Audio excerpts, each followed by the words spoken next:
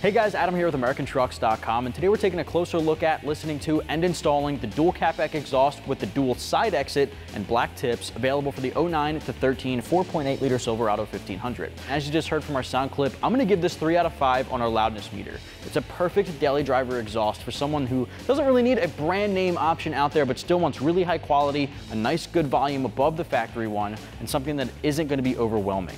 Now this particular exhaust here, it's got some really good 409 stainless steel behind it, and the sound that you just heard from our sound clip is a really nice daily driver option that gives you a deep growl, especially at idle, a little bit of a bark at wide open throttle, but it's still gonna keep the drone to a minimum inside the cabin. You might get a little bit of drone at low RPMs, at highway speed, just something to keep in mind, but it's still something that you can have a conversation in the car with the family, can still listen to music, it's not gonna blow your ears out. Three out of five, I think, is a pretty fair rating for this one. Now, one thing I did notice taking our sound clips out on the road at deceleration, we actually did get a little bit of backfire, especially when we were sitting at idle. It's something that gives you a nice, crisp, clean sound, a little bit of snap, crackle, and pop sometimes, just to give you a little taste of what you want, but it's not gonna be overwhelming. Now, being 409 stainless steel throughout the entire kit with mandrel bends, it's gonna reduce all the kinks in the airflow, so no more restriction like you'd get with your factory exhaust.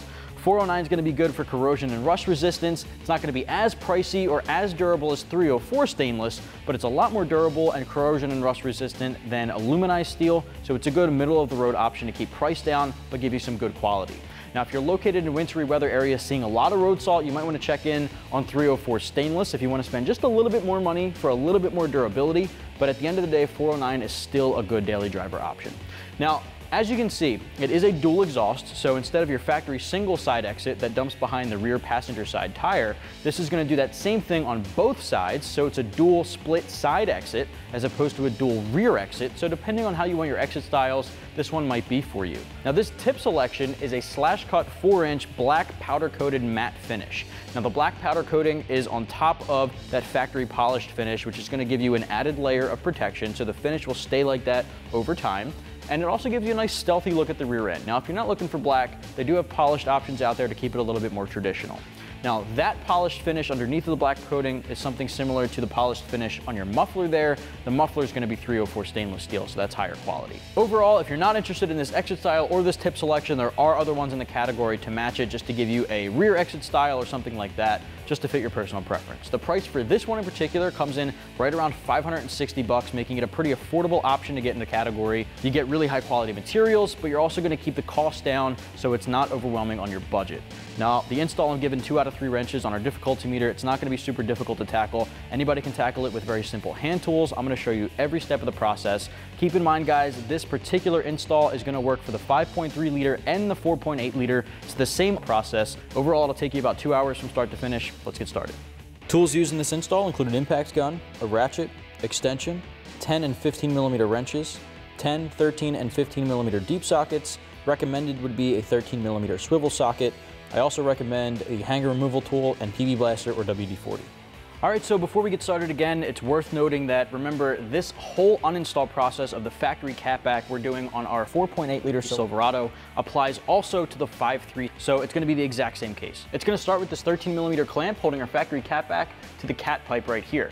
Grab your 13 socket and loosen that guy up.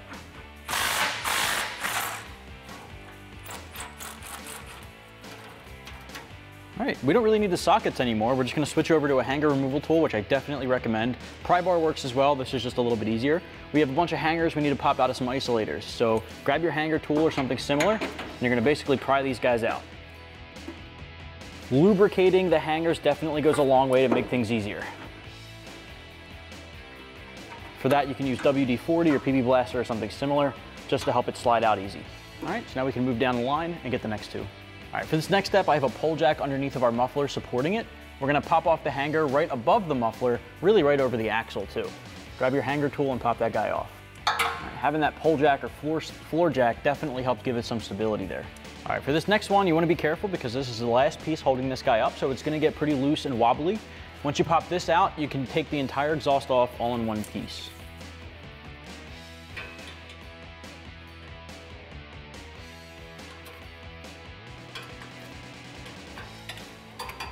All right, so this may be easier with a helping hand if you have a friend on deck to give you a hand doing this, but it can be done by yourself. Just make sure you're being careful because it is still all one piece.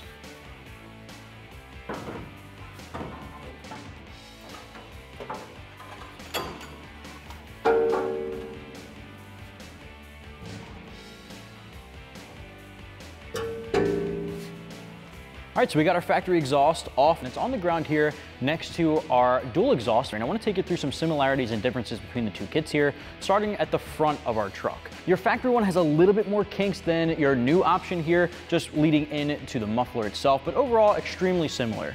Your new kit does come in two pieces, three depending on your cab length and bed size combination, but you're gonna have an adapter pipe that'll connect right up to your factory cat pipe. If you do not have a factory cat and you're using something like long tube headers, this can work depending on the size of your long tube. So this is a three inch inlet, so you just wanna keep that in mind to see if it'll match up to your new long tubes. So that's just something to note right there, depending on whether you're using the factory cat like we are, or something like a long tube or shorty header. Now, depending again on your cab size and bed length, you may be using this extension pipe. We have an extended cab with the six and a half foot bed, so we're not gonna be using this. That does not work for our bed size and cab length but you can consult the manual included in the kit to see if it fits yours. Moving on to the muffler here, obviously the factory muffler is absolutely massive compared to the Rough Country one. Now the Rough Country one is a lot smaller, has a single inlet and a dual outlet because we're converting from a single exhaust to a dual exhaust. That's gonna drop down from a three inch single inlet to a dual two and a half inch outlet exhaust with mandrel bends going around that spare tire carrier. Because we're going from single to dual, we do have to add another hanger to our driver's side because they didn't exist there before because it was a single exhaust. Going back to that muffler, your factory one's got a lot of baffling on the inside, minimizing that V8 sound that you really want to get out of your truck, whether it be a 5.3 or a 4.8. This rough country one is gonna be a little bit less baffled, more of a free-flowing muffler, a straight-through muffler, to give you that increase in volume and aggression without having any of that drone you don't want inside the cabin. So it's gonna minimize that drone, but give you that clear, crisp quality. Moving on, finally, we already talked about that dual exhaust. It's gonna split out dual side exit, so it's not gonna dump straight out of the rear bumper, but to the side. So you'll still have it dump out the passenger side rear tire, but have the same thing now on the driver's side as well. Tips make a huge difference in this kit. One of my favorite parts of the whole kit. Your factory tip pretty much is non-existent. It's really just a piece of metal that's just slash cut and that's really it. Your new tips are double walled slash cut four inch tips with a black powder coated matte finish on top of it. Now the four inches is obviously huge. Your factory tip was two and a half inches, so this is an absolute huge bump up.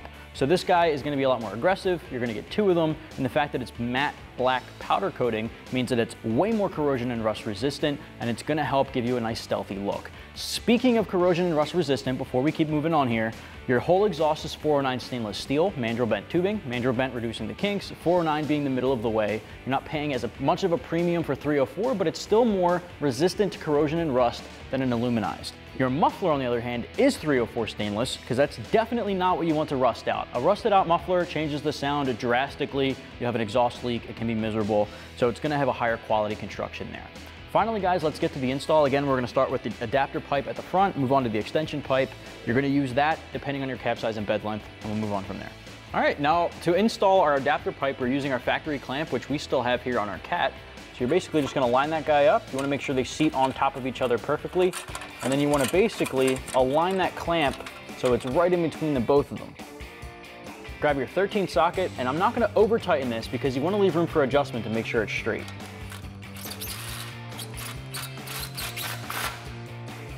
All right, so now you wanna put a clamp over that adapter pipe. Just gonna make sure that seats all the way back. Grab your extension pipe, feed that over the cross member, into that pipe, and line it up also to the hanger on the frame. All right, hang this up and then tighten down that clamp.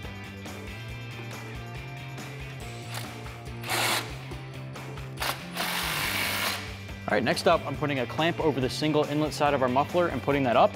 I also have a pole jack supporting the weight of that pipe we just installed, just so it doesn't slouch down too much. Now you can grab your socket and tighten this down once you have it flat.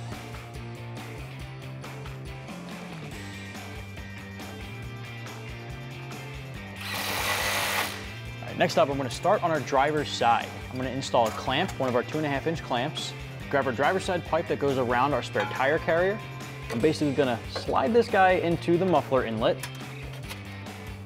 and you're gonna rotate it up so it connects to that factory hanger.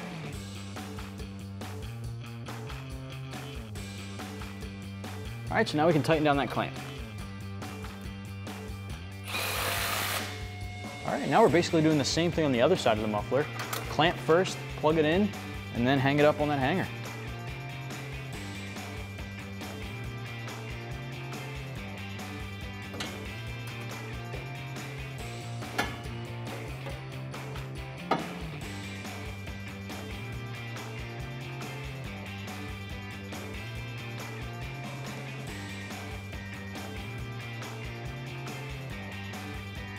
It'll slide right in there, just like that.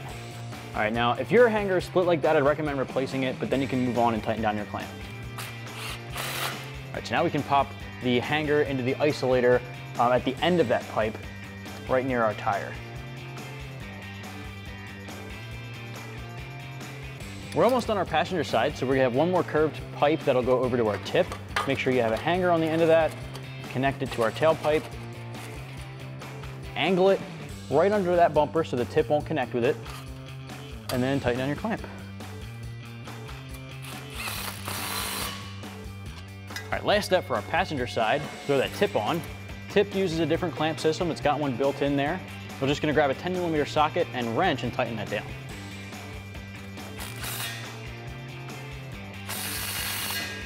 All right, this next step's a little bit difficult to see, but if you look at your frame on the driver's side next to the spare tire, there's an open circle hole here. Directly above that is an oblong hole on the side. Grab the extra hanger bracket included in the kit along with one of these flat bolt plates. Put it through the outside, just like that. Put another one of those square bolt plates on the inside, right around that stud, and then follow it up with the nut included in the kit. This is how we're gonna install our additional hanger. Since we're going from a single exhaust to a dual exhaust, we need it to hang up on this side. I'm just gonna tighten this down by hand and follow it up with our socket and wrench. All right, so now another isolator will slide on here. Right, grab your 15 socket and wrench, and tighten this stuff down.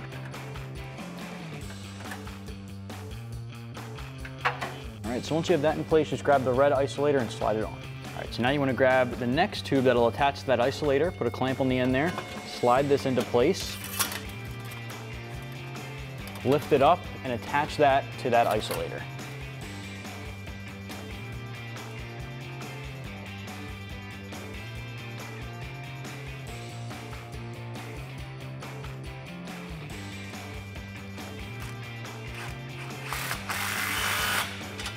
Right, now we can do the next pipe that'll lead right over to our tip. Again, make sure it's aligned, pointing straight under the bumper so it doesn't make contact, and then tighten on your clamp.